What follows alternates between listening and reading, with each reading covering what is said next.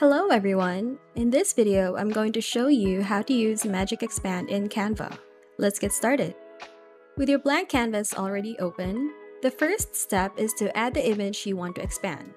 You can either use photos available in Canva or upload your image. To upload your image, click on the Uploads tab in the left sidebar. Then, click on the Upload Files button and select your image from your device. Once uploaded, simply click on the image to add it to your canvas. Click on the image on your canvas to ensure it's selected.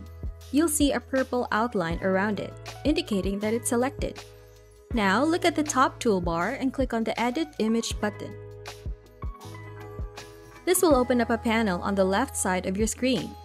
At the top, you'll see the Magic Studio section, where you can also find the Magic Expand option. Remember, this is a Pro feature, so you'll need a Canva Pro account to use it. Click on Magic Expand. Here, you can choose the size for your image, such as Freeform, which lets you freely adjust the width and height by dragging the handles. Or fill the whole page. Or choose from among the many different size options available. Select the size that best fits your needs. Then click on Magic Expand.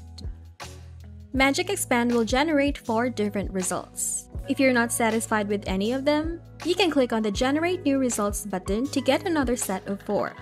Repeat this process until you find a result that works for your image. And that's it! You've successfully used Magic Expand in Canva.